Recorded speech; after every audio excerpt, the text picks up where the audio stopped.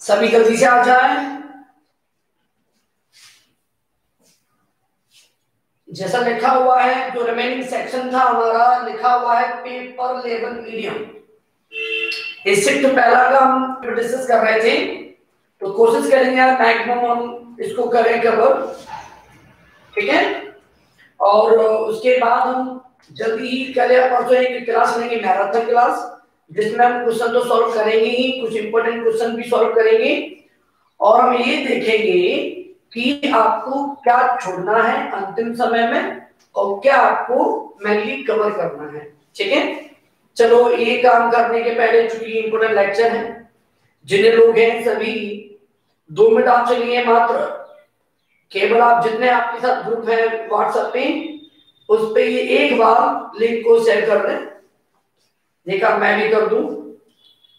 बहुत से लोग ऐसे हैं जो कि उन्हें नहीं मालूम होता है। तो ऐसे लोग तक ये वीडियो पहुँचे। तो प्लीज़ शेयर टू ऑल ठीक है? मैं देख लू कौन लाइव आ चुका है, मैं नाम ले दू कुछ बच्चों का। ठीक है? देख लू कौन बच्चे हैं जो आज नहीं आए हैं। तो कुछ बच्चे हैं, रामू गौर, कीर्ति चौहान, विशाल, हरिकिशन माहौर, अंकुर तिवारी पुष्पेंद्र वर्मा। जल्दी कमेंट करें सत्येंद्र गौतम अनिल कुशवाहा, अक्षय कटवालिया नारायण सिंह, प्रियांश गांगेल केशव मोहित मोदी, जीत करार, ऋषभ सिंह ठाकुर, सोनू वाजपेयी, विजय मदन, अविनीश यादव, मोहित मोदी। जो नए बच्चे हैं प्लीज़ कमेंट ज़रूर करें। ठीक है? बिल्कुल भैया।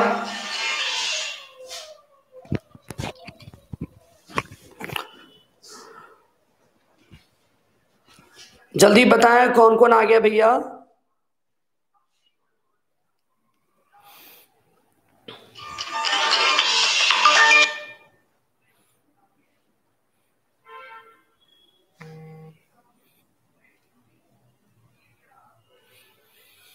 तो अभी जो हैं, ओके। रोहित, सौरभ शर्मा, चलेगा? तो क्वेश्चन हम जो छोड़ गए थे बीच में question number twenty six start कर रहे हैं। ड्यू टू सम रीजन वो पेपर डिस्कस नहीं हो पाया था। ठीक है? तो हम बढ़ रहे हैं एमपीपीएटी के उन्नीस के फ़र्स्ट शेड्यूल में, जो कि पेपर रियल में थोड़ा टफ था। टफ कहने के बजाय हमें लॉजिकली था तो ज़्यादा अच्छा होगा। ठीक है? चलेगा। हम पेपर सॉल्व कर रहे हैं। चलेगा okay right question number twenty six से स्टार्ट करेंगे, ठीक है? जहाँ तक कि बच्चों ध्यान होगा ट्वेंटी फाइव स्टार्ट कर लिए थे। ओके ट्वेंटी सिक्स भी हो गया था। ट्वेंटी सिक्स ये था, अगर आपको ध्यान हो तो बताइए, पीलिया में मुख्य रूप मुख्य रूप से किस अंग को संक्रमण होता था। आपने यहाँ से बताया था लिवर, राइट? हमने और कुछ बातें की थी इसके बारे में, कई हमने इसके बारे में अन्य जानकारी भी ली थी। अब हम बात कर रहे हैं क्वेश्चन नंबर ट्वेंटी सेवन कृषि उत्पादन को बढ़ाने के लिए, ये भी हो गया था हालाँकि, एक बार देख लेते हैं इसको। तो सूक्ष्म जीव हमें यूज़ करना है सॉइल में। इनको हम क्या बोल रहे थे? तो हमने इसका आंसर आपको बताया था, जिनको ध्यान नहीं वो सुन लीजिएगा, ठीक है? जो ध्यान नहीं वो सुन लीजिएगा। हमने आपको बताया था कि भैया एक शब्द है जिसके बोलते हैं जैव उर्वरक, जिसे अंग्रेज़ी में कहते हैं बायो फर्टिलाइज़र। कुछ के नाम सीख लीजिए जो आपको हमेशा काम आएँगे। जैसे मैंने बोला बीजीए बोले तो ब्लू ग्रीन एल्गी, इसे बोलते हैं नील हरित सैवाल एजोला एजोला को आप फर्न भी कहते हैं। एजोस्प्रिलियम, ठीक है? ये सभी क्या है? ये सभी ऐसे सूक्ष्म जीव हैं जो कि जो कि पौधों को तत्व की पूर्ति करते हैं। जैसे राइजोवियम जो कि जीवाणु है। लेकिन ये करते क्या है सभी? ये ये पौधे को एनपी के पूर्ति करते हैं। बीजे के क्वेश्चन आया हुआ आईसीआर बी एच में कई बार आया हुआ पीएच में बहुत फ़ेमस क्वेश्चन है ये। कि बताइए बीजीए कहाँ काम आएगा? तो बीजीए काम आएगा? धान के खेत में। जो एन की सप्लाई करेगा लगभग धान के खेत में 20 से 25 केजी एन देगा पर हेक्टेयर। थोड़ा हिंट तौर पे ध्यान रखो बहुत मैं डिटेल में तो नहीं जाऊँगा क्योंकि मुझे क्वेश्चन ज़्यादा सॉल्व करना है, ठीक है? एजोला एक प्रकार का फर्न है। ये एनपी के एन की पूर्ति करेगा आपकी 40 टू 50 40 से 50 केजी। वो जो अकेले नहीं करता, जो एजोला बीजीए के साथ मिलके धान के खेत में ये भी काम करेगा। पर हेक्टर एन देगा। पर भैया कौन से खेत में एन देगा? तो यानी धान के खेत में। ये भी इंपॉर्टेंट है। सुन लीजिएगा। अब रहा एजोस्प्रिलियम ये काम आता है ज्वार और बाजरा में। ज्वार बाजरा में एन की पूर्ति करेगा। वो कौन होगा? एजोस्प्रिलियम और राइजोबियम, सबको मालूम होगा दलहनी फ़सल में। जिन बच्चों को ये चीज़ नहीं आती प्लीज़ नोट डाउन कर सकते हैं। इजी पेपर बहुत आएगा तो चार पॉइंट में से एक क्वेश्चन आपको पूछ लेते हैं। ठीक है? तो उम्मीद करता हूँ आपने सभी क्वेश्चन आंसर बता होंगे। चलो थैंक यू अनुज चलो, आगे बढ़ रहे हैं भैया। चलो, ठीक थैंक यू हम क्वेश्चन आगे बात कर रहे हैं। नेक्स्ट क्वेश्चन की बढ़ रहे हैं? क्वेश्चन नंबर ट्वेंटी एट कोशिश करूँगा मैं कि आप जितना जल्दी हो सके उसका आंसर दीजिए। क्वेश्चन नंबर ट्वेंटी एट बताइए भैया। क्वेश्चन बड़ा प्यारा है, जरा देखिए उसका आंसर जितनी फास्ट लगाएँ, थोड़ा स्पीड में चलेंगे आज। पेपर नज़दीक है। Micro irrigation is also known as सूक्ष्म सिंचाई को किस नाम से जानते हैं? चलो भैया, आप यूज़ कर रहे हैं नैनो। अच्छा आप माइक्रो को नैनो यूज़ कर रहे हैं क्या? कोई बात नहीं, और देखते हैं। अनिकेत, ए दे रहे हैं बहुत से लोकलाइज्ड इरिगेशन चलो भैया, मैं इसका आंसर बता दूँ। आप कमेंट करते रहे, हमारी टीम आप मेरी बात सुन लीजिएगा। देखो माइक्रो इरिगेशन इज़ नोन किसे कहते हैं भैया माइक्रो इरिगेशन भैया, एक प्रकार आपने पढ़ा होगा सभी ने ड्रिप इरिगेशन सबने पढ़ा होगा मेरे ख्याल से क्योंकि जो पीटी देने जा रहा है, उसने अगर ये मेथड नहीं पढ़ी इरिगेशन की तो समझ लो इरिगेशन में कुछ पढ़ के नहीं जा रहा बच्चा। सबसे मेन मेथड है। इसके बारे में अगर बात करेंगे तो कब ट्वेंटी मिनट्स लग जाएँगे। आप तो ये सोचो कि इरिगेशन की सबसे बेस्ट मेथड सुपर मेथड जिसमें पानी का हम ज़्यादा कंजर्व कर सकते हैं वाटर कंजर्वेशन पानी का संरक्षण सबसे ज़्यादा हो सकता है, वो मेथड ये वाली मेथड ड्रिप इरिगेशन ये जहाँ खरपतवार भी नहीं फैलने देती और ये पानी का लॉस भी नहीं होने देती और बूंद बूंद करके पानी मिलता है तो पानी का सेव बहुत होता है। तो इसी प्रकार से बेटा drip irrigation also part of micro irrigation ये भी इसी का पार्ट है। इसी का पार्ट है तो हम यूज़ करेंगे स्थानीय सिंचाई लोकेलाइज सिंचाई में। इसका मतलब होता है पानी को धीमे धीमे देना, कुछ कंटिन्यूसली पानी को देना। इस बात को बोलते हैं माइक्रो इरिगेशन ठीक है, जिन्होंने नैनो बेटा nano irrigation is a new technology of irrigation ठीक है, अलग चीज़ है। हम यहाँ यूज़ करेंगे लोकलाइज इरिगेशन स्थानीय। सिंचाई को ही हम बोलते हैं माइक्रो इरिगेशन ठीक है भैया? चलो भैया ओके राइट चलिए, कोई बात नहीं, थोड़ा स्पीड मेंटेन करेंगे, ठीक है? जिनको स्पीड से डर लगता हो, बोल देना, ठीक है? Hydrolysis is the result of बहुत अच्छा क्वेश्चन है, इसमें कुछ ऐसे क्वेश्चन आपको बताऊँगा, जो आपके बहुत काम आने वाले हैं। पहले आप इसका आंसर दो मुझे जल्दी, फटाफट। के संकर ओज, माने हेटेरोसिस हेटेरोसिस किसका रिज़ल्ट है? चलेगा, इसको हम समझना होगा। इसमें ऑप्शन दिए, कुछ आपके पहले ऑप्शन देख लो आप, ताकि मैं आपको आगे बढ़ू। मुझे कुछ ऑप्शन भी मिल रहे हैं। Avinash Dhakad, Pushpendra Sharma, Mohit Gurjar. Brajwan Singh very good Brajwan. चलो, हासिम, कुलदीप धाकड़, अनुज भार्गव। आप पहले ऑप्शन देख लो। चार ऑप्शन है। ग्रेडिंग अप क्लोज बंद प्रजनन क्रॉस पार प्रजनन लाइन क्रमिक, अंता प्रजनन। चारों देख लिए। चलो, ये ऐसे नहीं समझ पाओगे। मैं आपको यहाँ समझाता हूँ होता क्या है। देखो हम जब एनिमल ब्रीडिंग पढ़ते हैं, हम जब पशु प्रजनन पढ़ते हैं तो पशु प्रजनन हम दो प्रकार से पढ़ते हैं। एक हम पढ़ते हैं अंता प्रजनन, इसे बोलते हैं इन ब्रीडिंग इन शॉर्ट में उदाहरण है तो बहुत डिटेल में बच्चों ये। पर जितना आपका क्वेश्चन हो जाए, उस हिसाब से और थोड़ा अलग ले रहा हूँ, ताकि आपको और नया क्वेश्चन भी आपको मिल जाए। एक है आउट ब्रीडिंग आउट माने बच्चों होता बहाया प्रजनन देखो फिर सुनो। इन ब्रीडिंग माने अंत प्रजनन अंत। ठीक है? थोड़ा सा थोड़ा सा हिंदी सीख लो। आउट माने वाया वाय माने बाहर। अगर आप साइंटिफिक बात करेंगे तो आप आप, आप बोलना यदि कोई क्रॉस यदि मेल फीमेल आप जो जोड़ रहे हो अगर उनका संबंध एक से लेके छह पीढ़ी तक का है आपने जो नर मादा मिलाए हैं उनका संबंध एक पीढ़ी से लेके छह पीढ़ी तक का है तो उस संकरण को बोलेंगे इनब्रीडिंग और अगर आपने नर दो मादा मिलाए हैं, उनका संबंध छह पीढ़ी के बाहर है। छह पीढ़ी के बाहर माने उनका संबंध ही नहीं है। छह पीढ़ी के बाहर के नर मादा है, जिनका संबंध छह पीढ़ी तक नहीं है। सात में हो, आठ में हो, दस में हो, उससे कोई फ़र्क नहीं पड़ता। तो ऐसे संगठन प्रजनन, ठीक है? एक से छह पीढ़ी तक के नरमादा मिला रहे हैं तो इन और एक छह पीढ़ी के बाहर के नरमादा मिला रहे हो तो आउट ब्रीडिंग अब आपको यहाँ दो टाइप के और पढ़ने होते हैं। समझ लीजिएगा। एक बेटा होता है सम प्रजनन ठीक है? एक होता है सम प्रजनन और एक होता है अंतरवंशीय प्रजनन। चूँकि ये आपको मैनली इंग्लिश में नाम दिए हैं तो आप सीख लो एक बार भैया। इसे बोलते हैं लाइन ब्रीडिंग और इसे बोलते हैं बच्चों क्लोज ब्रीडिंग अब इनमें क्या मतलब देखो? आपने बोला एक से छह पीढ़ी तक के। इनमें से भी अगर एक से दो पीढ़ी तक के नरमादा आपने मिलाए हैं, ऐसे नरमादा जिनका संबंध एक पीढ़ी, मैक्सिमम दो पीढ़ी तक का हो। तो इसको बोलेंगे सम प्रजनन और अगर आपने ऐसे नरमादा मिला दिए हैं, जिनका संबंध कितने हो? दो पीढ़ी के बाद बोले तीन पीढ़ी। कहाँ तक हो? छह पीढ़ी तक का।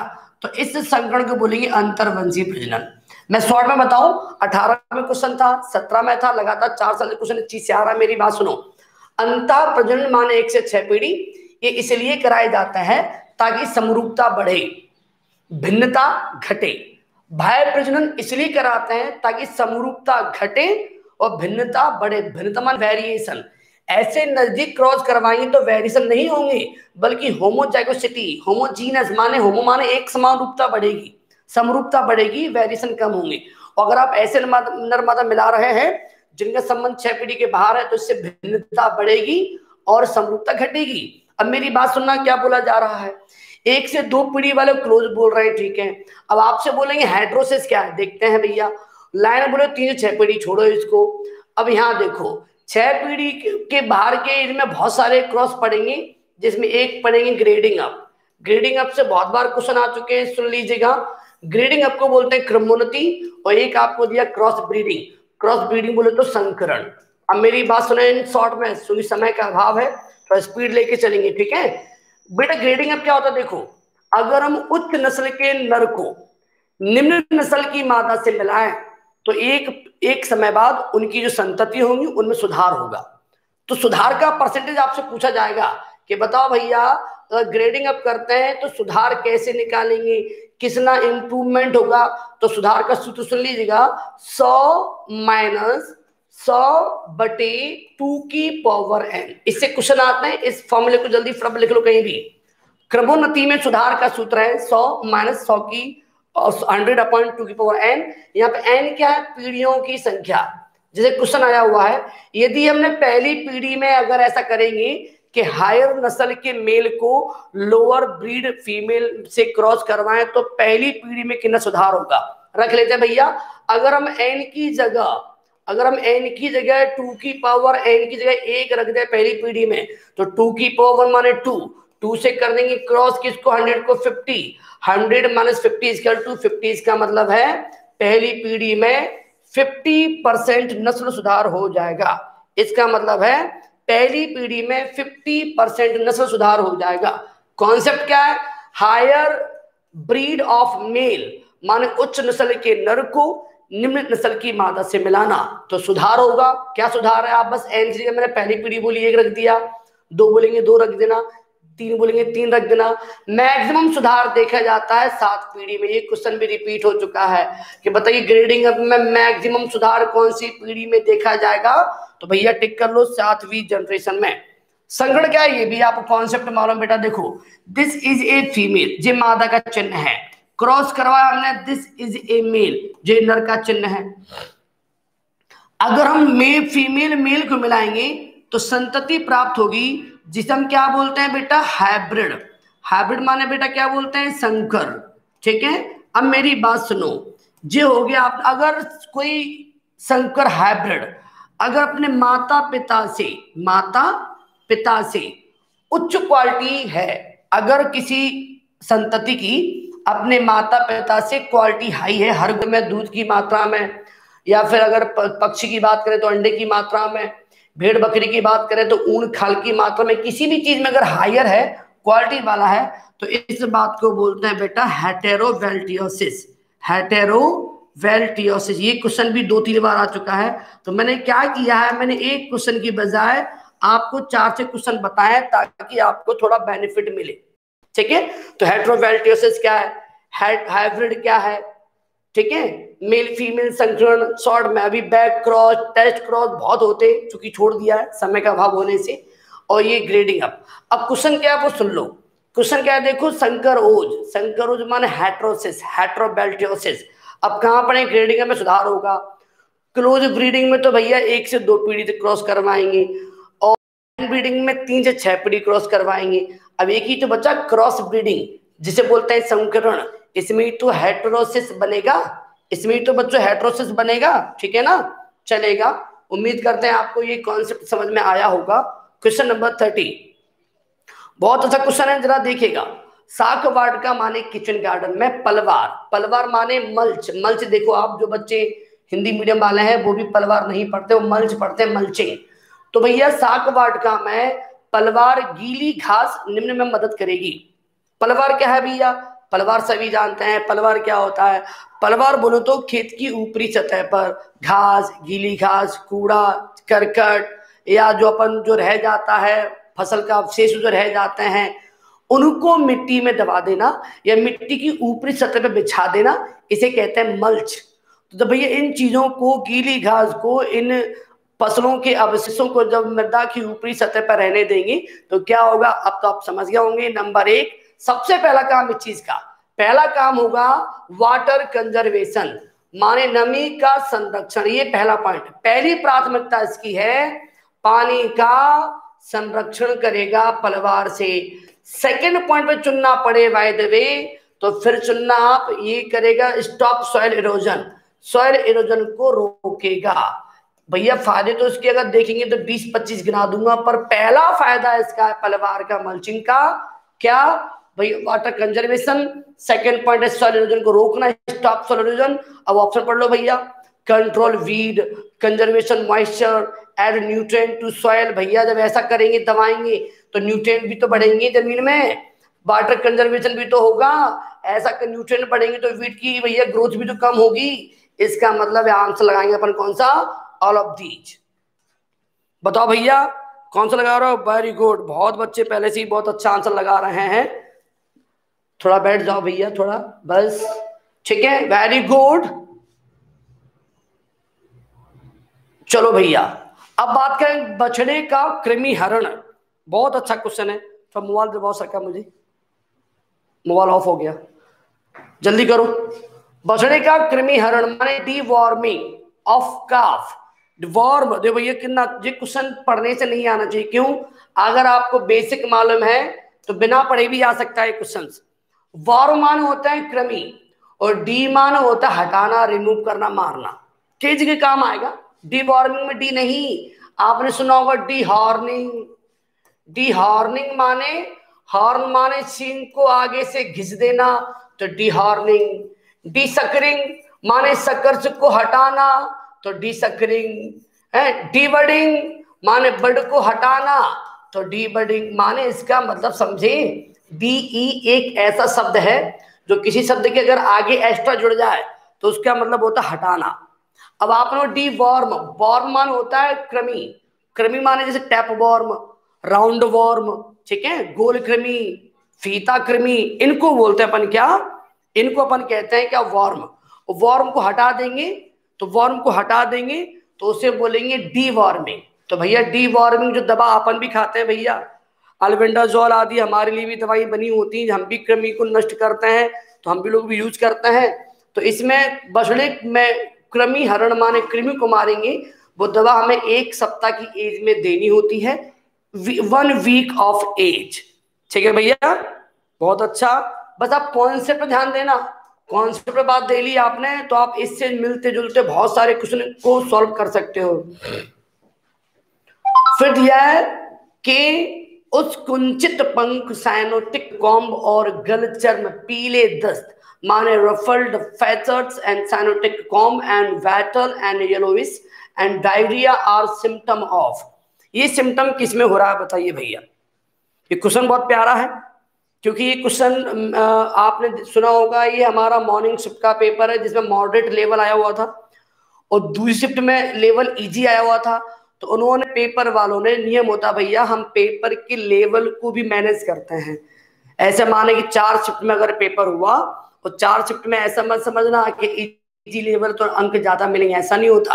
ऑटोमेटिक ऑनलाइन में ऐसा फीचर्स है कि वो इस आधार पे कट ऑफ़ तय करता है, इस आधार पे नंबरिंग करता है कि आपको दिक्कत ना आए, ठीक है?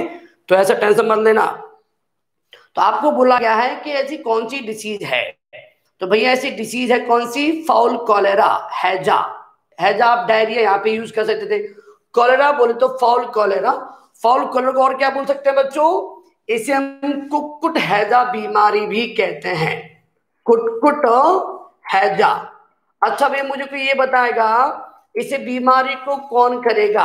बेटा, ये बीमारी जीवाणु जनित है और जिसका नाम है क्या? जिनको नहीं आता वो सुन लें। पाचुरेला एवासिडा। और एक है पाचुरेला मल्टोसिडा। ठीक है? पाचुरेला एवासिडा या पाचुरेला मल्टोसिडा नामक जीवाणु ये बीमारी करता है। ये एक जीवाणु जनित ये कौन है भैया? लिख लेना कहीं फटाफट। क्योंकि कोशिश करेंगे आप मुझे जो कीमती एक घंटा दे रहे हैं, कम से कम पीएटी 2020 में आपकी एक घंटे से, कीमती घंटे से कुछ ऐसे प्रश्न आपको बने जिससे आप बोले, चलो हमने सब एक घंटा दिया, लेकिन हमें वो काम आया। ठीक है? ध्यान रखना। उसके बाद हमने ये पढ़ लिया, ठीक है? तो इस बीमारी में क्या होगा? सिंपल सी बात है, इसमें पीला दस्त गलचर्म साइनोटिक कॉम्ब नाक से द्रव बहना। साइनोटिक कॉम्ब माने नाक से तरल द्रव बहना। ये ये किसमें होगा लक्षण? ये कुकुट हैजा में होगा। चलेगा, थोड़ा स्पीड में देख रहे हैं, हमें क्वेश्चन मैक्सिमम कवर करने हैं आज। ठीक है? चलेगा। अगला क्वेश्चन है एक फल पौधा, जो सामान्यतः वायु परतन जो प्योर हिंदी में आप मत पढ़ा करो, कई बच्चे एक्चुअल में प्योर हिंदी नहीं पढ़ते हैं। बच्चे एयर लेनिंग तो पढ़ते हैं, देखो। चाहे हिंदी मीडियम वाला हो, चाहे इंग्लिश मीडियम वाला हो एयर लेनिंग सभी पढ़ते हैं। तो इतने कई बार जब टफ शब्द आ जाते हैं प्योर हिंदी में, उनको ना देख के आप ऐसे वर्ड को देख ले करो। अब आप समझ आइए कि एयर लेयरिंग से कौन से फल को रोपित करते हैं? किससे? एयर लेयरिंग से किसको करेंगे? तो भैया एयर लेयरिंग क्या होती है? ये भी आपको मान लेयरिंग माने दाब कलम। आप जब दाब कलम पढ़ते होंगे, आप जब दाब कलम पढ़ते होंगे, दाब कलम की बहुत सारी विधियाँ हैं। सिंपल दाब कलम, सर्पाकार माने सरपेंटाइल दाब कलम, टिप माने सिरा दाब कलम, डीप माने गहरी दाब कलम, उसमें एक प्रकार है एयर लेयरिंग माने हवाई दाब कलम। हवाई दाब कलम करते क्या हमें? पौधे की शाखा चुनते हैं। उसमें 20 किनारे से, साइड से 20 से 25 सेंटीमीटर छोड़ के उसको छील देते हैं। और छिले भाग पर मट्टी, गोबर आदि को लगा के स्फेगनम मॉस की मदद से, किसकी मदद से? स्फेगनम मॉस की मदद से हम उसको सुतली से बाँध देते हैं। बांधने के, बांधने से क्या फ़ायदा होगा कि इसको क्यों लेते हैं स्फेगनम मॉस को? क्योंकि इसकी जलधारण क्षमता ज़्यादा होती है। इस वजह से हम इसको लेते हैं। और इसमें मिट्टी भी है स्फेगनमोस भी हम जब पानी के स्प्रे करेंगे तो इसकी जल धारण क्षमता भी ज़्यादा है तो कुछ समय तक ये आराम से न्यूट्रेंट और पा, पानी ले सकते हैं। कई बार अगर जड़ें जल्दी नहीं निकलती तो हम स्प्रे करते हैं एन ए ए या फिर आई ए ए जितनी बात बोल रहा हूँ एक एक शब्द को सुनते रहना। अगर जड़ें जल्दी नहीं निकले हम स्प्रे करते हैं N A A I A A N A ए का फुल फॉर्म है नेपथलीन एसिटिक एसिड। आई ए ए का फुल फॉर्म है indole acetic acid indole acetic acid ठीक है? अब आगे बढ़ रहा है। तो बेटा ये बहुत पॉपुलर विधि है तापक्रम की, और ये विधि मेनली यूज़ करते हैं अमरूद में, इसके बाद अनार में, बहुत सारे पुष्पीय पौधों में भी यूज़ करते हैं। अमरूद इसका फ़ेमस आंसर है। गुआवा मुख्यतः हम यूज़ करते हैं एयर लेयरिंग से। ध्यान रखना, इसके और भी नाम है। हम एयर लेयरिंग को चाइनीज़ लेयरिंग भी कह सकते हैं, ठीक है? इसको चाइनीज़ लेयरिंग भी बोल सकते हैं, इसको पॉट लेयरिंग भी बोल सकते हैं, इसको हवाई दाब कलम भी बोलते हैं, और इसे सबसे फ़ेमस नाम गूटी आपने कम से कम सभी नाम सुने हो ना ना सुने हो? गूटी तो आपने सुना होगा, ठीक है? तो एयर लेरिंग का सबसे फ़ेमस आंसर गूटी तो गूटी की जाती है मेनली किसमें? अमरूद में। ओके भैया? चलो भैया ओके भैया आगे बढ़ रहे हैं थोड़ा सा क्वेश्चन नंबर थर्टी फोर। बहुत अच्छा क्वेश्चन है देख लीजिएगा आप एक बार। ठीक है कि उच्च घनत्व रोपण के लिए आम की कौन सी किस्म उपयुक्त है? आ, सागर जी बोल रहे हैं सर पेपर कैसा आएगा? बेटा डोंट वरी डरना बिल्कुल नहीं क्योंकि आधा पेपर टफ आपके डर की वजह से लगता है।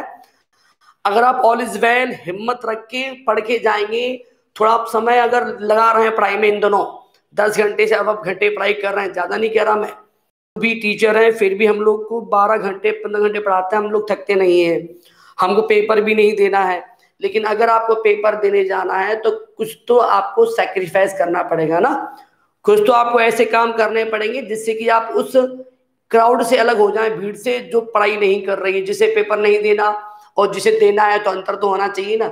मानो पड़ा जिसको पेपर नहीं देना, वो भी सो रहा है दस घंटे। और जो पेपर देना, वो भी सो रहा है दस घंटे। तो फिर तो दिक्कत होगी ना। फिर आप में उसमें क्या अंतर रहा?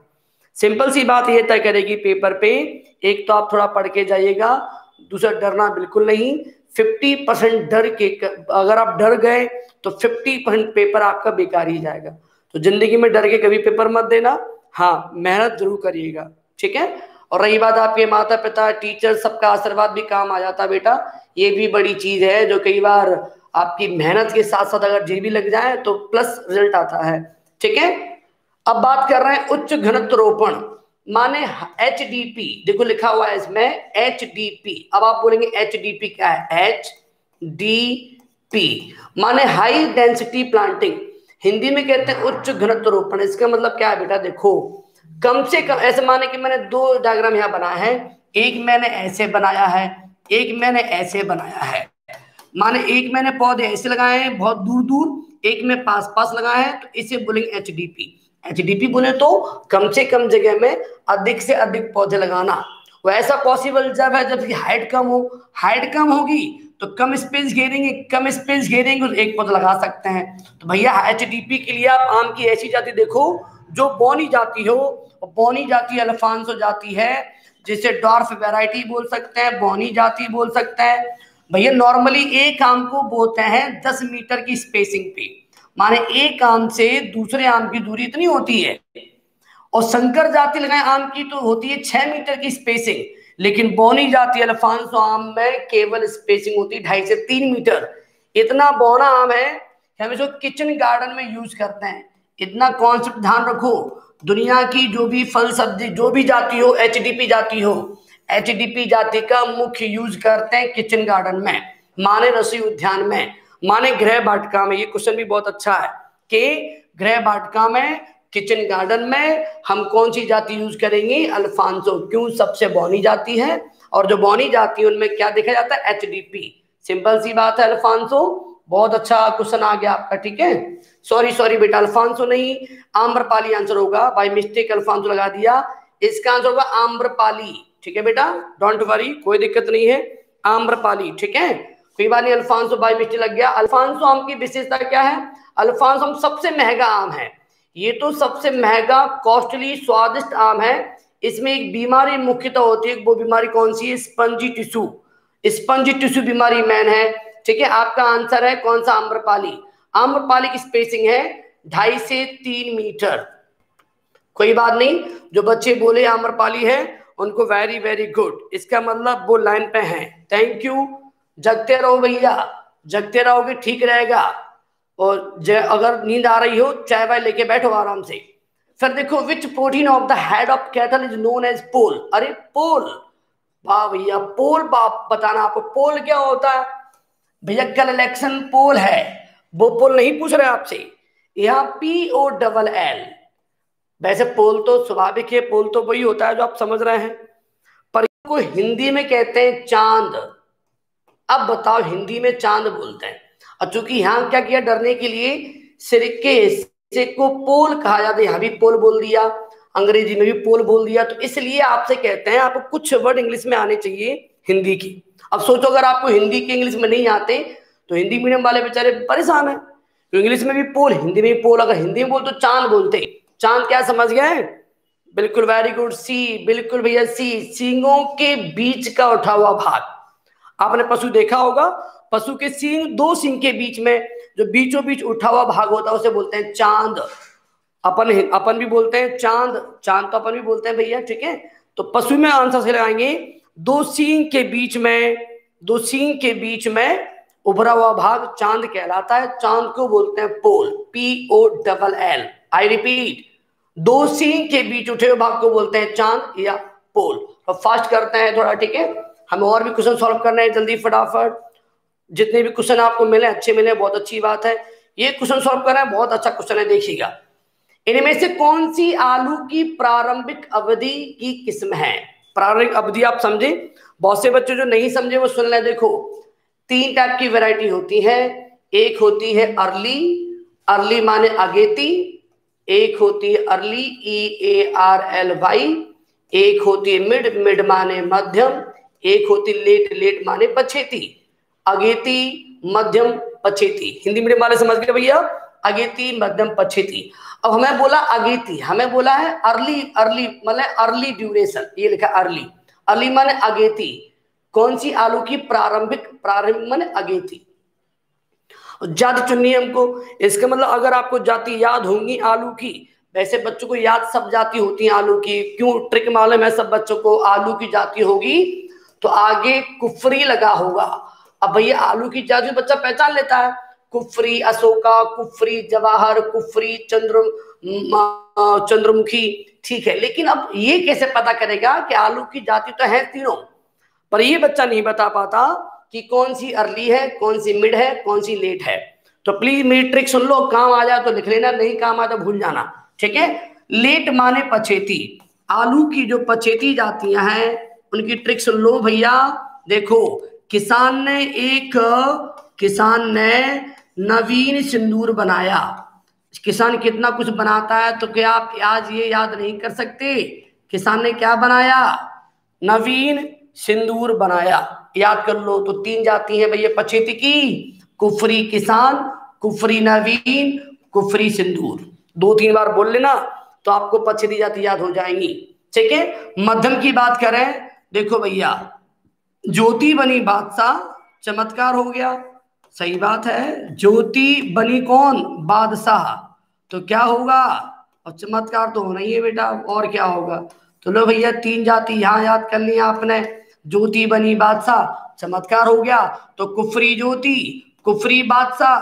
कुफरी चमत्कार। कितनी जल्दी याद होगी? देखो भी जल्दी फटाफट, ठीक है? फिर सुनो सुनो। ज्योति बनी बादशाह, चमत्कार हो गया। किसान ने नवीन सिंदूर बनाया। अगली सुनो। नाच। एन ए जे नाच क्या करते हैं भैया? नाज बिहार में जाते हैं जीवन की तलाश में। किसकी तलाश में जा रहे हैं जी? जीवन की तलाश में जाते हैं। कौन? नाज। नाच का मतलब है ना माने नवजोत, ए माने अशोका, जे माने जवाहर। फिर ठीक है? नाज बिहार गए, किसकी तलाश में? जीवन की तलाश में उन्हें वहाँ मिल गई चंद्रमुखी और अलंकार। भैया, अलग काम के लिए गए थे और कोई मिल गया? चंद्रमुखी और अलंकार। देखो भैया थोड़ा सा आपको कहानी को घर पे दो मिनट रखना है याद। नाज बिहार में जीवन की तलाश में गए, वहाँ मिले चंद्रमुखी अलंकार मिड़की ज्योति बनी, बादशाह हो गया चमत्कार। और पछेती माने क्या? किसान ने नवीन सुंदर बनाया। कहानी को याद करके मुझे अब बताओ कौन सा होना चाहिए। थी पूछिए, अब मुझे बताओ कौन सा होना चाहिए। अब मुझे बताइए कि थी पूछा है, अब ट्रिक यूज़ करके मुझे बताइए कौन सा होना चाहिए। बिल्कुल राइट अब अब आपको मालूम पड़ गया होगा, अब आपका आंसर होना चाहिए ए ठीक है? फिर रिपीट रिपीट क्या? आप तो दो, तीन बार आप खुद बोल लेना। आप खुद आ जाएँगी। आलू की इतनी लंबी बात है, अगर मैं आलू स्टार्ट करूँ तो तीन लेक्चर तीन दिन में खत्म नहीं कर पाऊँगा। क्योंकि ये पेपर सॉल्व कर रहे हैं, जल्दी फटाफट हो रहे हैं। ठीक है? अब यहाँ बात कर रहे हैं, निम्न में से कौन सी औषधीय गुणों वाला सजावटी पौधा है। सजावटी माने ऑर्नामेंट प्लांट है।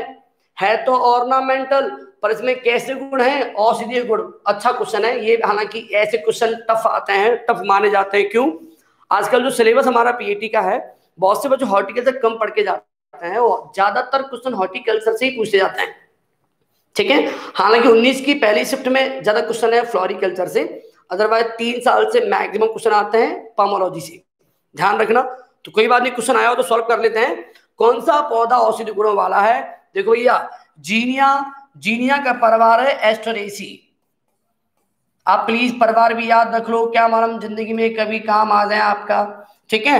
विंग का माने सदाबहार, इसका परिवार एपोसाइनेसी जिसमें आप करौंदा भी पढ़े थे, ध्यान होगा आपको। ठीक है? अब रहा वर्वीना, इसका परिवार है वर्वीनेसी।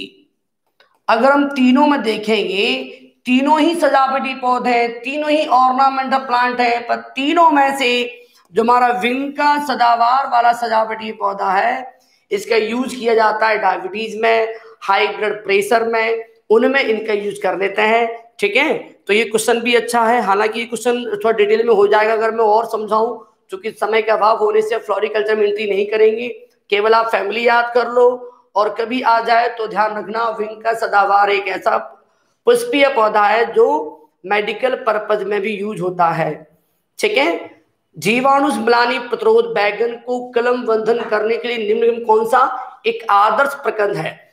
idea root to grafting brinjal ये ध्यान को क्या लिखा है? grafting brinjal for bacterial wilt भाई, ऐसे क्वेश्चन कभी नॉलेज से नहीं बनते। कई बच्चे ये सोच रहे होंगे, जी, हमने पढ़ाई नहीं है भैया, ऐसे क्वेश्चन पढ़ने से नहीं बनते। क्यों? वो आपसे पूछा रूट स्टॉक का नाम पूछ रहा है। तो भैया, सोलेनम ट्यूबरोजन जो आलू का नाम है, इसको क्यों चूज़ करेंगे? और सोलेनम मेलोनजीना जो ब्रिंजल बैगन का नाम है। सोयनम लाइकोपर्सिकम लाइकोपर्सिकम एस्कुलेंटम टमाटर का नाम है। अब एक ही तो ऑप्शन बचा, सोलेनम टर्बम जो आपको लग रहा है कि हमने नहीं पढ़ा है जही होना चाहिए रूट स्टॉक और जही आंसर है। ठीक है? कई क्वेश्चन ऐसे होते हैं थोड़ा सा बुद्धि यूज़ करें। अगर वो पेपर में नहीं बने तो थोड़ा सा आपका प्रयास, वो क्वेश्चन राइट करवा सकता है।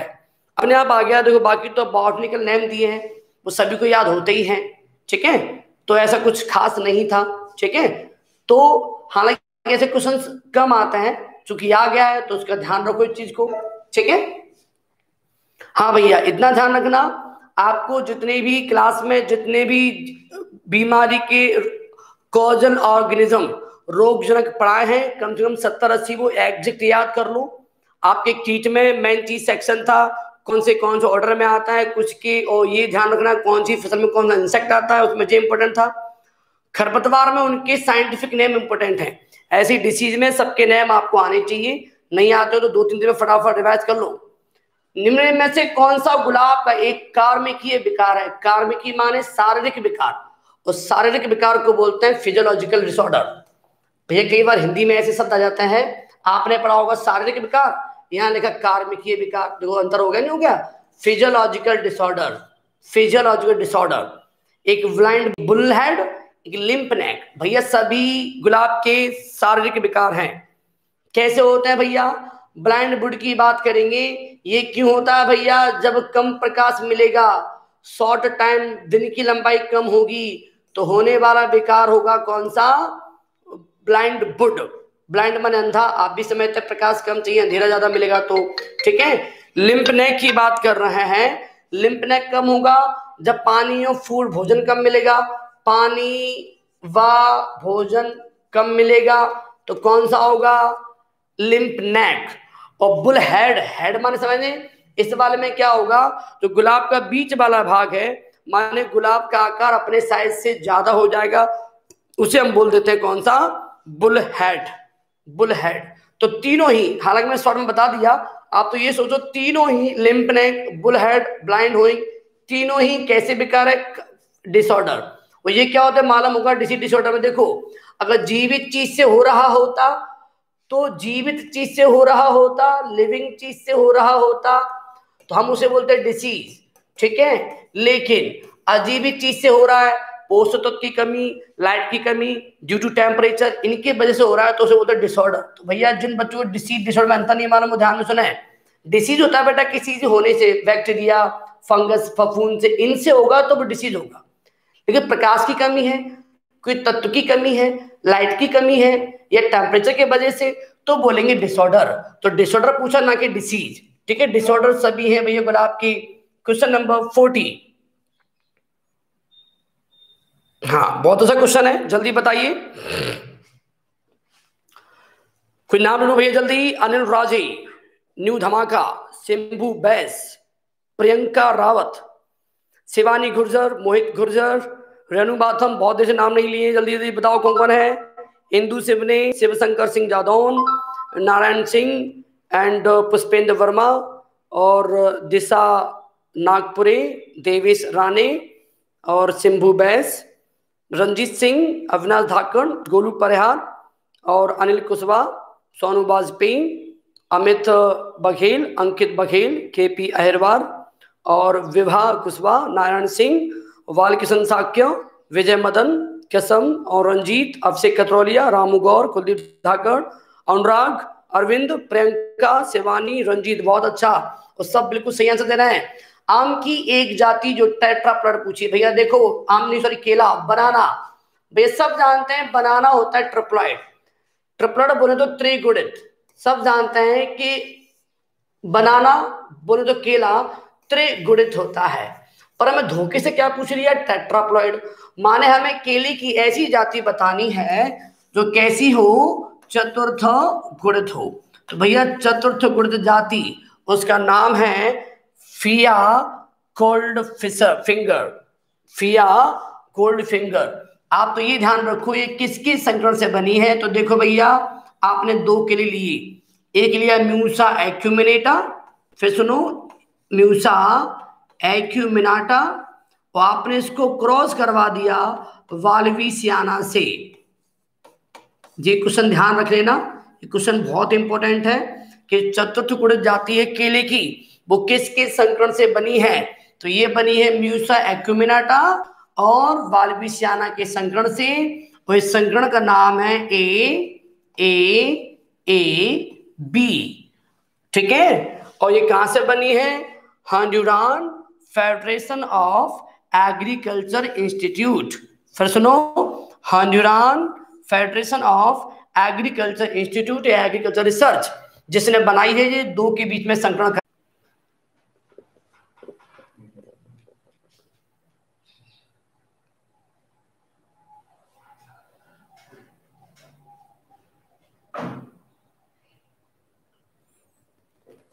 क्या हो गया इसमें?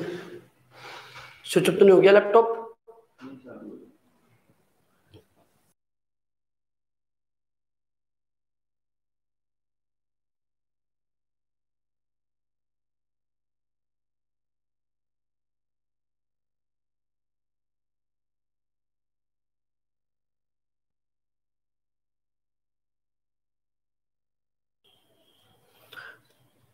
क्लियर है? बेटा चले नहीं गए थे बेटा। थोड़ा नेटवर्क इश्यू हो गया होगा थोड़ी देर के लिए, फिर वापस आ गए, देख लीजिएगा आप लोग। कोई बात नहीं बेटा नेटवर्क इश्यू हो जाता है, बीच बीच में कोशिश करेंगे, बिल्कुल ना हो। क्लियर है थैंक यू अनुराग जी, अब क्लियर हो गया है, सभी बच्चे क्लियर बोल रहे हैं। ठीक है? हाँ आपको लगा कि आपका नेट खत्म, कोई दिक्कत नहीं है। नवीन जी वॉइस प्रॉपर है, सब बच्चे बोल रहे हैं ओके क्लियर सुनो भैया, निम्न में से कौन सा बगीचे में किनारा बनाने में काम आए किनारा। किनारा यूज़ करेंगे बेटा, कहा? किनारे को अगर आप समझ गए, अंग्रेज़ी में तो पूरी कहानी समझ जाओगे, किनारा बोलते एज एजेज भैया दो चीज़ होती हैजेज और एजेज अब पूछा आपको एजेज में माने बगीचे में किनारे बनाने के लिए सबसे उपयुक्त कौन है? तो भैया जल्दी बोलो, किनारे के लिए सबसे उपयुक्त कौन है? जल्दी बोलिए। अच्छा बी बोल रहे हैं बच्चे बी ऑल ऑफ़ दीज अच्छा। बी बोल रहे हैं, ओके भैया, चलो भैया, आपकी बात मान लेते हैं इस बार, सबकी बात, सब बोल रहे हैं इतना। तो कॉलियस जरवेरा एंड अल्टरथेरा सभी यूज़ करेंगे। ओके राइट क्वेश्चन नंबर बयालीस। कौन सा एक फलीदार चारा है? लेग्यूम फडर लेग्यूम समझे? लेग्यूम बोले तो फलीदार फलीदार बोले तो लेग्यूमिनस परिवार में हो। जिसका परिवार हो लेग्यूमिनेसी और लेग्यूमिनेसी बोले तो जो हो, कैसे? जो हो, दलनी हो पल्सेस क्रॉप हो, दलनी फ़सल का चारा इनमें से कौन सा है? अगर ढूंढेंगे तो मैं बता देता हूँ क्योंकि समय का अभाव है। इसके बाद क्लास आपकी मैथ की होगी बच्चों। आज मैथ में सेक्शन होगा त्रिकोणमितीय थर्ड पार्ट अंग्रेज़ी में trigonometry third part of trigonometry ठीक है, शुभम सर लेंगे भैया थोड़ी देर में ही। पहले मैं क्वेश्चन सॉल्व कर रहा हूँ, और वो आने वाले समय में क्या करने वाला है, आपको आठ तारीख को पेपर है। आपको पेपर में क्या करना है, आपको अपना डर कैसे भगाना है, आपको पेपर में कौन सी सावधानी बरतनी है टेंशन मत लो। अगला लेक्चर में पूरा इस पे बेस करूँगा कि आप पढ़ाई के अलावा अगर इन चीज़ को फॉलो करेंगे तो आपके 10 से 12 नंबर वैसे इंक्रीज हो जाएँगे, केवल बिना वो काम किए। अगर आपके नंबर 120 आ सकते हो, मेरी बात फॉलो कर लेना तो आपके 120 की बजाय 130 आ जाएँगे। माने कुछ नहीं करना पड़ा 10 नंबर के लिए, बस बातों को फॉलो करनी पड़ेगी आपको। ठीक है? तो जल्दी ही एक लेक्चर ऐसा लेंगे, जो कि आपके एग्ज़ाम में बहुत बेनिफिट होगा, बहुत आपके लिए ज़रूरी है सुनना। कि कोर्स के अलावा कुछ ऐसी चीज़ें हैं जो आपको आनी चाहिए, ठीक है? आप देखें भैया जल्दी फटाफट। आप बोलो ग्रास ग्रास तो भैया आती ग्रेमिनी क्रॉप में तो ये तो वैसे खत्म हो गई तो ग्रास तो आप लगा ही नहीं सकते। ग्रास माने घास। और घास क्या में आती है? आपकी कौन सी क्रॉप में? अनाज वाली फ़सलों में। माने ग्रेमिनी में ग्रामीण ये लेग्यूम पूछ रहा है तो लेग्यूम में अपना आ गया सुबबूल। सुबबूल का नाम क्या है? जिनको नहीं आता वो दिखना, उसका नाम है ल्यूसीना ल्यूसीना ल्यूकोसेफेला भैया, याद नाम कर लो, अगर ध्यान कभी आ जाए तो। ठीक है? उसका नाम क्या है? देखो ल्यूसीना ल्यूकोसेफेला ये सुबबूल का नाम है। Leucaena leucocephala thank you Kuldeep Dhakad बिल्कुल ऐसा होगा। भैया, मेहनत करने वालों की कभी हार नहीं होती और कुछ किए बिना जय जयकार भी नहीं होती। दोनों बातें हैं। मेहनत कर लो तो हार कभी नहीं होगी आपकी। और अगर करवानी है जय जयकार तो कुछ तो करना पड़ेगा अपन को ऐसा, ठीक है? ल्यूसेना लिकोसेफला सुबबूल तो अपने आप ऑप्शन देख गया लेगुमिनेसी का। आराम से कर लिए अपन उसे। अब देखो, पॉइंट नंबर फोर्टी थ्री निम्न के में कौन सा टिक जनित संक्रमण टिक माने तो टिक माने होता बेटा चिचड़ी। ठीक है? टिक माने होता चिचड़ी। अगर मैं इसको बोलूँगा, इस वैसे टिक वजह से बहुत बीमारी होती है, उसमें से एक बीमारी आपको बोल रहा है, यहाँ पे जो एंथ्रेक्स होती है बेटा जीवाणु से बैक्टीरिया से। जिसका नाम क्या है? ठीक है? एज बेसिलस एंथ्रासिस चेचक होती है बेटा वायरस से फॉल पॉक्स रेविज होती है वायरस से। रेविज एक बीमारी जो कुत्ते द्वारा फैलती है। ठीक है? तो एंथ्रेक्स चेचक वायरस, एंथ्रेक्स, जीवाणु रेवीज वायरस, जो कि कुत्ता इसमें माध्यम है। अब हमें माध्यम बोल रहा है टिक। ऐसी बीमारी बताओ जिसमें माध्यम टिक है। तो टिक है भैया, वो बीमारी है थैलेरियोसिस। आई रिपीट टिक वाली बीमारी है, उसका नाम है थैलेरियोसिस। और अगर आप इसका नाम सुनना चाहें तो नाम भी सुन लो भैया। रिफी सेलस ठीक है? एंटी कुगेलतस कोई बात नहीं, अगर नाम टफ लग रहा हो तो कोई बात नहीं है। आप इतना ध्यान रख लो कि थैलेरियो जो बीमारी है, ये बना है थैलेरियो पैरासाइट से। और जो पैरासाइट है बेटा, उसका मीडियम कौन है? टिक ठीक है? तो ऐसे याद कर लो आप, अगर उसका टिक का नाम ध्यान आ जाए तो बहुत अच्छी बात है, ठीक है? टिक वॉर इन्फेक्शन इसको ब्लड वॉर्म इन्फेक्शन भी कह सकते थे। यहाँ लिखा है टिक वॉर्म इन्फेक्शन हम इसको ब्लड वॉर्म इन्फेक्शन भी बोल सकते थे। राइट ओके राइट आगे बढ़ रहे थोड़ा सा। कौन सा रेशेदार कार्बोहाइड्रेट, रेशेदार? आप ऐसा कार्बोहाइड्रेट चुनिए जो हम लोग नहीं पचा पाएँगे। आपको मालूम पड़ जाएगा। ऐसा रेशा सुनिए जो हम नहीं पचा पाएँगे। फ्रक्टोज मिलता, फलों से पचा लेंगे। ग्लूकोज तो अब सब जगह मिलता है, अनाजों में पचा लेंगे। स्टार्च मिलेगा माड़ में, धान में पचा लेंगे। सेलुलोज, फाइबर, कार्बोहाइड्रेट है, जिसको हम पचा नहीं पाते। ठीक है? सेलोज लिग्निन ऐसे कार्बोहाइड्रेट हैं, जो फाइबर, कार्बोहाइड्रेट कहलाते हैं, और इनमें और हमारे कार्बोहाइड्रेट में अंतर क्या है? ये ऐसे कार्बोहाइड्रेट हैं, जिन्हें बोलते हैं दुष्पाच्य कार्बोहाइड्रेट। माने जिन्हें हम आसानी से पचा नहीं पाते। वो है जी, इसलिए इन्हें रेशा या फाइबर, कार्बोहाइड्रेट भी कहते हैं। बहुत बच्चे अच्छा आंसर दे रहे हैं। हिंदू नारायण, सिंबू, रॉकी, अभिषेक, बहुत इतने प्यारे बच्चे हैं जो बहुत अच्छा आंसर दे रहे हैं। ईश्वर इनकी मनोकामना पूरी करे ठीक है? आगे देखो कौन सा बड़ा दुग्ध उत्पादक देश है? वर्ल्ड में सबसे ज़्यादा दूध देने वाला या जो दूध की मात्रा प्रोडक्शन ऑफ़ मिल्क वर्ल्ड में सबसे नंबर वन है इंडिया की। इंडिया है first position in case of production of milk तो इंडिया की जो फ़र्स्ट पोजीशन है, किसके क्षेत्र में? दुग्ध उत्पादन के क्षेत्र में। हमारा देश मोर देन 180 बल्कि 190 मिलियन टन इससे भी ज़्यादा दूध प्रोडक्शन करता है पर ईयर अगर हम देखें कितना होता है, दुनिया में जितना दूध उत्पादन है, उसका 22 परसेंट से लेके 25 परसेंट तक उत्पादन अकेला हमारा देश करता है।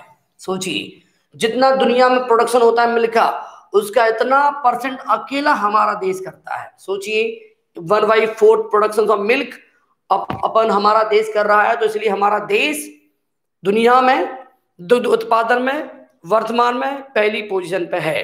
बिल्कुल भैया, ब्रजराज यादव बिल्कुल आप सही है, तीन सौ तिरपन। चलो भैया नेक्स्ट क्वेश्चन है आपका। ये तो सबको बनना चाहिए, जल्दी बोलो। कौन सा मृदा पीएच क्षारी मृदा को दर्शाता है? इनमें से कौन सा है जो क्षारीय को दर्शाएगा? बिल्कुल प्राउड ऑफ़ इंडिया बताइए, क्षारीय पीएच को बताएगा। बिल्कुल सही बोला, क्षारीय पीएच। पीएच तो आप जानते हैं, पीएच का मान। सभी जानेंगे पीएच का मान होता है ज़ीरो, टू, फोर्टी। और बीच में होता है सात।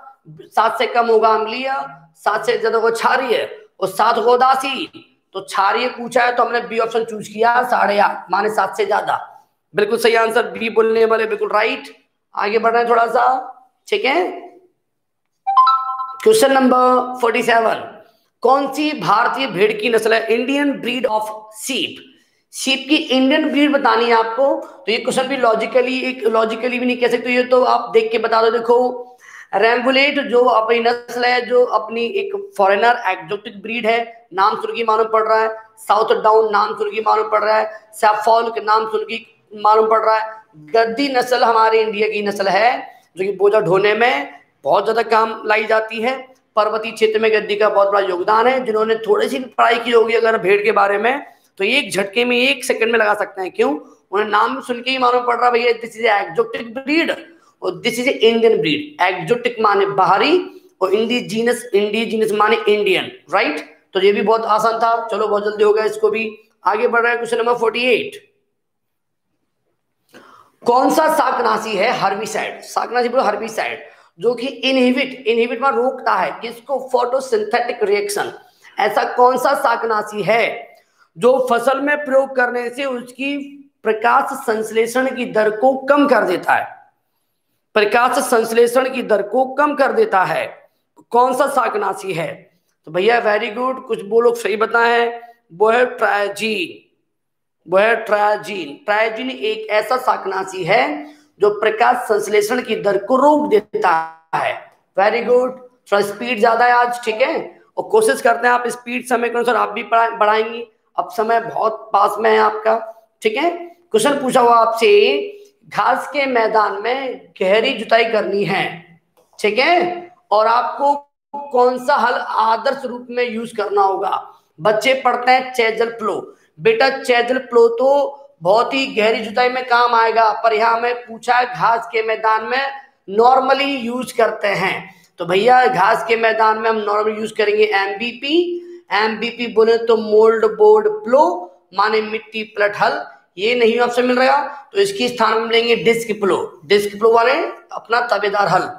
ये हम यूज़ यहाँ ये करेंगे। अगर ये ऑप्शन में नहीं होता तो बाद में हम लेते हैं चैजल प्लो क्योंकि हमारा ऑप्शन के हिसाब से हम ऑप्शन चूज़ करें डिस्क प्लो तबेदार हल। इसको यूज़ करेंगे यहाँ पे, ठीक है? हाँ अगर ये नहीं होता ऑप्शन में डिस्क प्लो तो हम लेते बेटा कौन सा? चेजल प्लो यूज़ करते हैं यहाँ पे, ठीक है? क्योंकि ये ऑप्शन में डिस्क प्लो है तो हम इसको यूज़ करना ज़्यादा अच्छा मानेंगे। आगे बढ़ रहे थोड़ा सा, चलेगा। इनमें से कौन सी विटामिन दूध में नहीं होती? Thiamine riboflavin and vitamin C जल्दी बोलो, इनमें से कौन सी विटामिन दूध में नहीं होती? तो भैया, बिल्कुल सही बताएँ बच्चे लोग, इनमें से कौन सी विटामिन दूध में नहीं होती? तो बिल्कुल बहुत सही बता रहे हैं। सब बच्चों का बिल्कुल सही है। मैं नाम ले दू जाते जाते सतन साग के अजय परिहार, प्रमोद रामू दिशा। चंद्र प्रकाश दौरे, पुष्पेंद्र। शुभम, अविनाश, आनंद, तरुण, रघुवंशी। अविराज पटेल। पीवीटी भैया प्री बैटनरी टेस्ट या यू कहूँ कि H D T animal husbandry diploma test बेटा देखो animal diploma H D T में एजी नहीं आता, सब जानते हैं। ए एच डी टी में अपना क्या आता mainly forty physics forty chemistry twenty general. PBT बोले तो प्री बैटनरी टेस्ट। उसमें लेवल ऐसा रहता है, ये अगर लेवल आप कर रहे हैं तो आप थोड़ा ठीक लाइन पे हैं। कोई दिक्कत नहीं भैया। बिल्कुल सही भैया दूध में सब कुछ होता है, लेकिन विटामिन सी नहीं होती। लेकिन विटामिन सी बोले तो एस्कॉर्बिक एसिड अब्सेंट होता है। बिल्कुल सही बताया भैया। चलो भैया, मेरी एक बात सुन लीजिएगा। आप जितने लोग मेरे साथ जुड़े हैं उनसे पहली बात तो मैं ये बोलूँगा कि वीडियो को आप अगर लाइक कर दें अभी, और एक कमेंट सेक्शन और होता है लाइव चैट के अलावा। तो लाइव चैट तो हम लोग लाइव के दौरान सुन पाते हैं, पढ़ पाते हैं तो ठीक है। लेकिन अगर आप लोग बाद में वीडियो के बाद में अगर लाइव चैट के अलावा कमेंट बॉक्स में अपनी बात रखें तो लंबे समय तक हमें दिखाई देगी। तो हमारी टीम उसमें सर्च करती रहती है, आपकी क्या जिज्ञासा है, आपने क्या मांगा है, आपको क्या रिक्वायरमेंट है तो ध्यान रखें। लाइव चैट तो केवल बेटा लाइव के दौरान हम देखते हैं। रिमेनिंग जो कमेंट बॉक्स होता है वीडियो के बाद, आप उसमें भी कमेंट करें। तो क्या होगा, हम आपकी कमेंट को कभी भी, अगर आज नहीं देख पाए इन केस जल्दी जल्दी में तो दो दिन बाद, तीन दिन हमारी टीम आपको वो कमेंट देखेगी, आपकी हेल्प करेगी। दूसरी बात, जिस व्यक्ति को जैसी भी रिक्वायरमेंट हो पेपर देने जा रहा है तो उसे क्या थोड़ा फोकस करना है? कौन से चैप्टर को थोड़ा इंक्रीज करना है? बेटा, वो डिपेंड करता है हर व्यक्ति के इंडिविजुअल होने पे। हो सकता है अगर मैंने आपसे बोल दिया कि ये सेक्शन ज़्यादा पढ़ के जाओ, ये कम पढ़ लो जो मैंने इसलिए बोला होगा न्यू फ्रेशर के बच्चे के हिसाब से। अब जिसका वो ऑलरेडी अच्छा है, मैं बोलूँ छोड़ के जाओ तो दिक्कत होगी ना। तो कुछ चीज़ें डिपेंड ऑन यू आपकी क्षमता पर डिपेंड होंगी। हाँ हम कुछ ऐसी बात बता सकते हैं जो ओवरऑल सबके लिए इंपॉर्टेंट होंगी। ठीक है ना? तो जल्दी ही एक हम ऐसी क्लास लेंगे कि उसमें आप दूसरी क्लास कब होगी बेटा? बुधवार को मैं अंतिम क्लास लूँगा। बुधवार को दिन कौन सा आपका? आज दो तारीख है। आज दो तारीख है ना? चार तारीख को। ठीक है ना? देखो, चार तारीख और छह तारीख। दो दिन आपकी मैं मदद करूँगा। ठीक है? और बेटा, जो विद्यार्थी जिनका सेंटर ग्वालियर में पड़ेगा वो लोग बिल्कुल मदद ले सकते हैं। हम आपको एक नंबर देंगे। आप चाहो तो अभी लिख सकते हो। दो नंबर आपको देंगे। वो दो नंबर आप चाहो तो अभी लिख सकते हो। जिन नंबर आपकी मदद करेंगे आपका सेंटर कहाँ है, आपको कैसे जाना है, एक नंबर है seven three five four triple eight one zero eight और एक नंबर बेटा eight one zero nine zero nine three one zero eight देखो ऐसे विद्यार्थी जो शहर में पहली बार आ रहे हैं, जिनको दिक्कत है, सेंटर कहाँ है, कैसे जाना है, उनके साथ कुछ दिक्कत ना आए तो प्लीज़ ऐसे बच्चों के लिए हमने दो नंबर दिए हैं टोल फ्री नंबर है, इसलिए बोल रहा हूँ मैं, आप कॉल कर लेना। अगर आपके, आप कॉल कर ही लेना, खैर। तो क्या होगा, हम आपको जितनी भी चीज़ें हैं सेंटर कहाँ है, आपको क्या लेके जाना है, अगर शहर में आप आ गए हो, कोई आपको दिक्कत आती है क्योंकि हम लोग भी जानते हैं। हम भी जब स्टूडेंट थे तो उसमें हमें लगता है कि किसी की छोटी सी हेल्प कितनी बड़ी काम कर जाती है, अगर हम बाहर कहीं जाते हैं तो। वही चीज़ हम महसूस करते हैं। सोचते हैं कि अगर हमारे द्वारा थोड़ा सा प्रयास आपकी मदद करे तो हमें इसमें बड़ा खुशी होगी। आप लोग अगर इन नंबर पर कॉल करेंगे, छह तारीख के बाद ये नंबर दो दिन, तीन दिन इसीलिए काम करेंगे। आप कहाँ हैं? आप कहाँ जाना चाहते हैं? क्या दिक्कत है? जो भी चीज़ें होंगी, और सेंटर कब तक अनाउंस होंगे बेटा? सेंटर अनाउंस होंगे आपके पाँच तारीख से आपका अनाउंस होने लग जाएँगे। सेंटर की जानकारी आप सभी को पाँच तारीख से मालूम होने लग जाएगी, ठीक है ना? तो ये दो नंबर मैंने आपको बोले हैं तो प्लीज़ इन नंबरों को आप थोड़ा सा लिख लेना, आपके एक मदद के लिए नंबर बनाए गए हैं, ठीक है? और जो विद्यार्थी, देखो, उसके अलावा जो विद्यार्थी अगर बाहर का है, मैं लोकल की बात नहीं कर रहा, जो विद्यार्थी बहुत दूर का है, उसने, उसका सेंटर बाई मिस्टेक ग्वालियर में पड़ गया है, वो किसी को नहीं जानता ऐसे केस में आप कॉल कर लेना तो हो सकता है आपकी मदद करने के तौर पे सेंटर हमारे दो तीन सेंटर है ग्वालियर शहर में।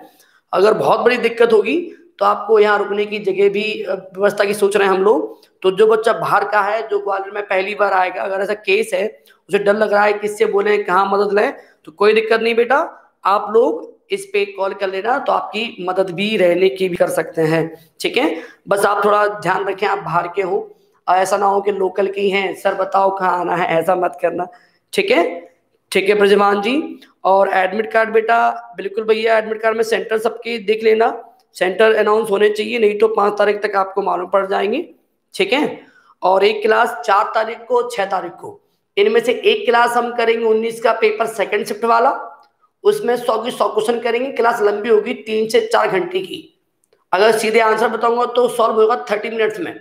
पर मैं सोच रहा हूँ, अगर आप पेपर देने जाओ तो सौ क्वेश्चन के आधार पे दस क्वेश्चन तो आप कर लो अपने आप, ठीक है? इसलिए हम उसको लंबा खींचेंगे क्लास को, तीन से चार घंटे में अपन करेंगे उसको, ठीक है ना? उसके अलावा हाँ एग्ज़ाम के बारे में बताएँ, बिल्कुल भैया। उसके अलावा आपका एक क्लास में लूँगा, आपको क्या करना है, कैसे आपको जाना है, सेंटर पे क्या क्या गाइडलाइन है गवर्नमेंट की अगर आप ये नहीं ले गए तो आपके साथ ये हो सकता है। तो ऐसी चीज़ बताऊँगा जो आपके लिए बहुत ही इंपॉर्टेंट साबित होगी। ठीक है भैया? अगर आपको मेरा काम अच्छा लग रहा हो, सराहनीय लग रहा हो, हमारी संस्था, हमारी टीम अगर आपके साथ काम कर रही है पूरे मन से तो प्लीज़ आपकी भी छोटी सी ड्यूटी बनती है कि इस वीडियो को आप, देखो भैया, आपका पैसा नहीं लगना इसमें। आपका पैसा नहीं लगना, आपके नेट नहीं खत्म होना बस इतना हो सकता है कि आप बीस को भेजेंगे तो दस लोग बोल सकते हैं, मेरे काम का नहीं है। पंद्रह बोल सकते हैं, मेरे काम का नहीं है। लेकिन आपके द्वारा पाँच बच्चों तक भी पहुँच गया। आपको तो नहीं मालूम था, पर उनके काम होगा। तो बस वही हमारी आपसे गुरु दक्षिणा है और वही उनके लिए आशीर्वाद है, उनके पास पहुँच गया। ठीक है? आप इनकी चिंता मत करना कि सर हमारा मित्र है, वो नीट कर रहा है, आईटी कर रहा है, उसे क्यों भेजे? ठीक है? आपका कहना सही है। लेकिन उसके द्वारा वो वीडियो क्या मालूम किसको शेयर फिर से वो कर दे। इसलिए आप तो बस फॉलो करिएगा। पीबीटी प्री बैनरी टेस्ट बेटा आप मुझे कॉल कर लेना मेरे नंबर पे।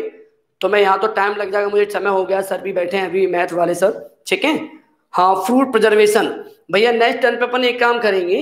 अगले अगले टर्न पे जब सौ क्वेश्चन अपन करेंगे ना तो फ्रूट प्रिजर्वेशन के जो भी दो तीन क्वेश्चन पूछे गए, उसके आधार पे अपन चैप्टर की कई लॉजिकली कॉन्सेप्ट को क्लियर करेंगे। ठीक है? एक आखिरी लंबी क्लास लूँगा, जो होगी तीन से चार घंटे की। उसके बाद एक घंटे लूँगा केवल एक मोटिवेशनल क्लास एक कैडलाइन वाली क्लास क्या करना है, क्या नहीं करना है। इसी के साथ, जय श्री राम राम राम, नमस्ते, अस्सलाम वालेकुम। भैया, सबको नमस्कार, सब खुश रहे, ठीक है? चलते बस, चलते चलते जितना भी अच्छा बोल दो। बहुत बहुत अच्छी बात। थैंक्स ठीक है? बस आपकी विद इन दस मिनट में, दस मिनट के भीतर शुभम सर आएँगे, क्लास लेंगे आपकी। ठीक है? अभी तक क्या चल रहा था? एजी और के साथ थी फिजिक्स अब एजी के साथ मैथ हो गया है। कल क्लास आपकी होंगी केमिस्ट्री और फिजिक्स थी कल की बहुत इंपॉर्टेंट क्लास है, कोई मिस ना करें। ठीक है? परसों भी बहुत मतलब आपको तो इन दोनों, हर क्लास कीमती है। ठीक है? थैंक यू भैया सबको राम राम नमस्कार। ख्याल रखें अपना।